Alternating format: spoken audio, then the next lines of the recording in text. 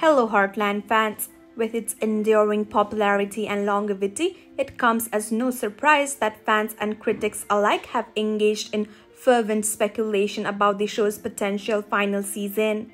In this video, we will explore the various reasons why people think Heartland Season 17 marks the end of this cherished series.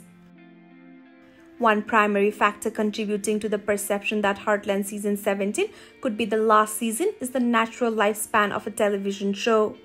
While some exceptional series may continue for more extended periods, most TV shows tend to have a limited run before coming to a conclusion. Heartland has already had an incredibly successful run, with 17 seasons under its belt and it would not be surprising if the producers and creators decide to wrap up the storyline and bid farewell to the characters. Throughout the show's progression, Heartland has developed and resolved numerous storylines. Viewers have witnessed the growth of characters, the resolution of conflicts, and the evolution of relationships. The narrative arcs of the main characters particularly the Fleming Bartlett family, have reached significant milestones and overcome significant challenges.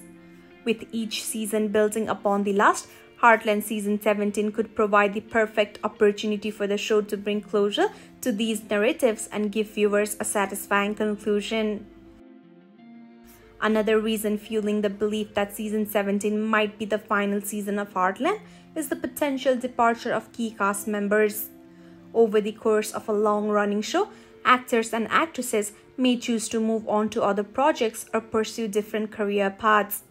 If core members of the Heartland cast, such as Amber Marshall or Graham Wardle, decide to leave the show, it could create significant challenges for its continuity. In such cases, the showrunners may opt to conclude the series gracefully rather than attempting to continue without essential characters. The production of a television series like Heartland involves a multitude of logistical challenges, including budgeting, scheduling, and location scouting. Over time, these challenges can become increasingly demanding and may impact the feasibility of extending a show beyond a certain point. If the production team feels that maintaining the high standards set by Heartland becomes unviable or excessively taxing, they might choose to conclude the series at season 17, providing a satisfying ending to the viewers rather than compromising the show's quality.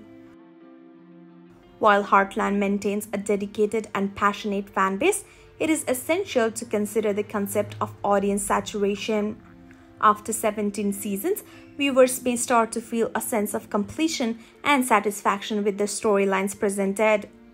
Continuing the show beyond this point may risk diluting the show's impact or potentially exhausting its appeal. By concluding the series as season 17, the showrunners can preserve the integrity of Heartland's legacy and prevent the risk of diminishing returns. The belief that Heartland season 17 could be the final season of the show stems from various factors, including the natural lifespan of television series, narrative completion, potential cast and crew departures, production challenges, and audience saturation.